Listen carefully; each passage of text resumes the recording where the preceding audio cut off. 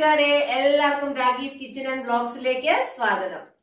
കൂട്ടുകാരെ എല്ലാവർക്കും ആദ്യം തന്നെ ഞാൻ എന്റെ ഹൃദയം നിറഞ്ഞ നന്ദി പറയുകയാണ്. എന്റെ വീഡിയോസിനൊക്കെ നിങ്ങൾ നല്ല റെസ്പോൺസ് ആണ് തരുന്നത്. നല്ല അഭിപ്രായങ്ങൾ ഒത്തിരി പേര് പറയുന്നുണ്ട്. പ്രത്യേകിച്ചും എല്ലാവരും പറയുന്നത് റെസിപ്പീസ് ഒക്കെ വളരെ സിമ്പിൾ ആണ് ഈസി ആയിട്ട് ഉണ്ടാക്കാൻ പറ്റുന്നു എന്നൊക്കെയാണ്. അപ്പൊ ഇതൊക്കെ കേൾക്കുമ്പോൾ നമുക്ക് മനസ്സിന് വല്ലാത്തൊരു സന്തോഷമാണ്. അപ്പം നിങ്ങൾ അത് ഇഷ്ടപ്പെടുന്നു എന്നറിയുമ്പോൾ ഒന്നും കൂടി സന്തോഷം കൂടുകയാണ്. അപ്പൊ നിങ്ങൾ എല്ലാവരും റെസിപ്പീസ് തീർച്ചയായിട്ടും ട്രൈ ചെയ്ത് നോക്കണം. പിന്നെ ഇന്നത്തെ ഒരു റെസിപ്പിയും വളരെ സിമ്പിൾ ആയിട്ടുള്ള ഒരു റെസിപ്പിയാണ് എന്താണെന്നല്ലേ? ഇന്നത്തെ നമ്മുടെ റെസിപ്പിയാണ് കുടംപുളി ഇട്ട് വച്ച നല്ല മീൻ കറിയുണ്ട് അതെ കുടംപുളി ഇട്ട് വെച്ച നല്ല ഒരു മീൻ കറിയാണ് ഇന്നത്തെ റെസിപ്പി അതായത് മീൻ മുളകിട്ടത്. അപ്പം നമ്മുടെ മലയാളികൾക്ക് മീൻകറിയും കൂട്ടി ചോറുണ്ണുമ്പോൾ ഉണ്ടാകുന്ന ആ ഒരു രസം ആഹാ ഒന്ന് പറയേണ്ടതാണ് അല്ലേ? അപ്പോൾ നമുക്ക് ഈ മീൻകറി കൂട്ടി നമുക്ക് ഇനി ചോറുണ്ണണ്ടേ. അതുകൊണ്ട് നമുക്ക് ഈസി ആയിട്ടുള്ള ഈ റെസിപ്പി എങ്ങനെയാണ് ഉണ്ടാക്കുന്നത് നോക്കാം. നിങ്ങൾ തീർച്ചയായിട്ടും ഈ റെസിപ്പി ട്രൈ ചെയ്ത് നോക്കണം എന്നിട്ട് നിങ്ങളുടെ അഭിപ്രായങ്ങളൊക്കെ എന്നോട് പറയുകയും വേണം. എന്റെ വീഡിയോസ് ആദ്യമായിട്ട് കാണുന്നവരാണെങ്കിൽ നിങ്ങൾക്ക് ഇഷ്ടമാവുകയാണെങ്കിൽ തീർച്ചയായിട്ടും ലൈക്ക് ചെയ്യണം സബ്സ്ക്രൈബ് ചെയ്യണം. പിന്നെ സൈഡിൽ കാണുന്ന ബെൽ ബട്ടണിൽ ഓൾ എന്ന ഓപ്ഷൻ കൂടി പ്രസ് ചെയ്താൽ ഞാൻ അപ്ലോഡ് ചെയ്യുന്ന എല്ലാ വീഡിയോസിന്റെയും നോട്ടിഫിക്കേഷൻ നിങ്ങൾക്ക് കിട്ടുന്നതാണ്. അപ്പം ഒട്ടും താമസിയാതെ നമുക്ക് നമ്മുടെ റെസിപ്പിയിലോട്ട് പോകാം. മീൻ മുളകിട്ടത്.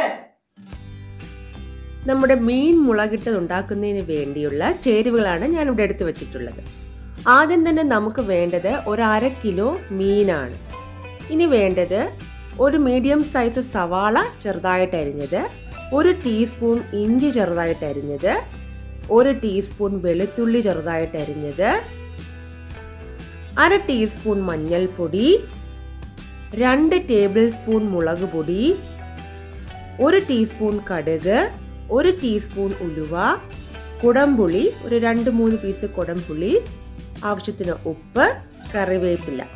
ഇത്രയുമാണ് നമുക്ക് വേണ്ട സാധനങ്ങൾ. ആദ്യം തന്നെ നമുക്ക് ഈ കുടംപുളിയെ കുറച്ച് ഇളം ചൂടുവെള്ളത്തിൽ ഇട്ട് വയ്ക്കാം അപ്പം പുളി നന്നായിട്ട് കുതിർന്ന് വരും. ഈ വെള്ളത്തിൽ തന്നെ നമുക്ക് ആവശ്യത്തിന് ഉപ്പും കൂടി ചേർത്ത് കൊടുക്കാം.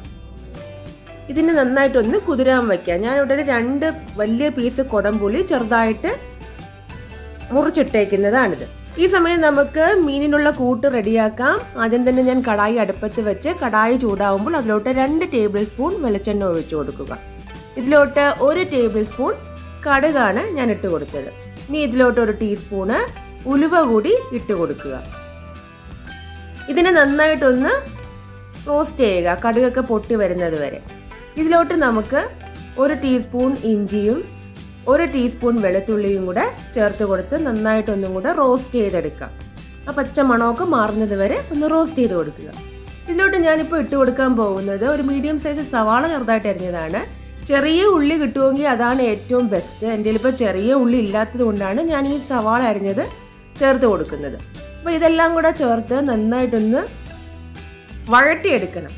അതിനാണ് ഇതിന്റെ സ്വാദിരിക്കുന്നത് അപ്പോൾ ഇപ്പോൾ ഇതെല്ലാം നന്നായിട്ട് വഴണ്ട് വന്നിട്ടുണ്ട്. ഈ സമയം നമുക്ക് മസാല ചേർക്കാം. അര ടീസ്പൂൺ മഞ്ഞൾപ്പൊടി ചേർത്ത് കൊടുത്തിട്ടുണ്ട്. രണ്ട് ടേബിൾ സ്പൂൺ മുളക് പൊടിയാണ് ഞാൻ ചേർത്ത് കൊടുത്തിട്ടുള്ളത്. ഇതും കൂടെ ചേർത്ത് നന്നായിട്ട് വീണ്ടും റോസ്റ്റ് ചെയ്തെടുക്കുക. വേറെ പ്രത്യേകിച്ച് മസാലകളൊന്നും നമുക്കിനി ചേർത്ത് കൊടുക്കേണ്ട ആവശ്യമില്ല. മീൻ മുളകിട്ടതാണ്. അപ്പോൾ ഇതിലോട്ട് ഞാൻ ഇനി ആ പുളിവെള്ളം നമ്മൾ നേരത്തെ ഉണ്ടാക്കി വെച്ചത് ആ പുളിയോടുകൂടി തന്നെ ഇട്ട് കൊടുക്കുകയാണ്. ഉപ്പും നമ്മൾ വെള്ളത്തിൽ തന്നെ ഇട്ട് കൊടുത്തിട്ടുണ്ടായിരുന്നു. അതുകൊണ്ട് പ്രത്യേകിച്ച് ഇനി ഉപ്പും ചേർത്ത് കൊടുക്കേണ്ട ആവശ്യമില്ല നമ്മുടെ കൂട്ട് ഏകദേശം റെഡിയാണ് ഇതൊന്ന് തിളച്ച് വന്നാൽ മതി. അപ്പോൾ ഇപ്പോൾ എന്താ തിളയൊക്കെ വന്നു തുടങ്ങിയിട്ടുണ്ട്. ഈ സമയം നമുക്ക് കുറച്ച് കറിവേപ്പില കൂടി ഇതിലോട്ട് ഇട്ട് കൊടുക്കാം. ഇനി ഇതിനെ ജസ്റ്റ് ഒന്ന് മിക്സ് ചെയ്തെടുക്കുക. അപ്പോൾ നമ്മുടെ കൂട്ട് റെഡിയായി കഴിഞ്ഞു. ഇത് തിളച്ച് വരുമ്പോൾ നമുക്കിനി ഇതിലോട്ട് മീൻ കഷ്ണങ്ങൾ ഇട്ട് കൊടുക്കാം. ഞാനിവിടെ മീൻ കഷ്ണങ്ങൾ ഓരോന്നായിട്ട് ഇട്ട് കൊടുക്കുകയാണ്. ആ ഗ്രേവിയിലോട്ട് മീൻ കഷ്ണങ്ങളെല്ലാം നന്നായിട്ട് മുങ്ങി കിടക്കത്തക്ക രീതിയിൽ നമുക്ക് ഇട്ട് കൊടുക്കാം. ഇപ്പോൾ മീൻ കഷ്ണങ്ങളെല്ലാം ഇട്ട് കഴിഞ്ഞു. ജസ്റ്റ് ഒന്ന് ശ്രദ്ധിക്കുക. എല്ലാ മീൻ കഷ്ണങ്ങളും ഗ്രേവിയിലോട്ട് നന്നായിട്ടായിട്ടുണ്ടോ. ഇതിനെ നമുക്കിനി ഒന്ന് വേവിച്ചെടുത്താൽ മതി. ഒരു ലോ ടു മീഡിയം ഫ്ലെയിമിൽ വെച്ച് ഒരു എട്ട് തൊട്ട് പത്ത് മിനിറ്റ് വരെ കുക്ക് ചെയ്തെടുക്കുക.